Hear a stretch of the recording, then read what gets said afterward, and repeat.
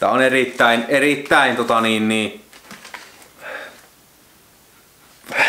No milloin hajusuolaa kannattaisi käyttää? No totta kai ennen isoja kovia, nuorituksia, ennen isoja kovia suorituksia, isoja PR-nostoja. Että en suosittele, että ennen esimerkiksi Scott Howis kääntysarjaa niin otetaan hajusuola, vaan silloin kun ollaan kyseessä niin erittäin maksimaalinen jonkunlainen suoritus tulossa. Niin se antaa vähän niin lisäkierroksia tuolle koneeseen ja tietyllä tapaa jopa poistaa niin ajatukset siitä, siitä suorituksesta. Mä oon kuullut semmoisen vertauksen, että sitä otetaan sen takia, koska sä oot epävarma siitä, että tuuksa onnistuu siinä, mitä teet, niin sä poistat sen ajatuksen, se epäonnistumisen ajatuksen hajusuola avulla.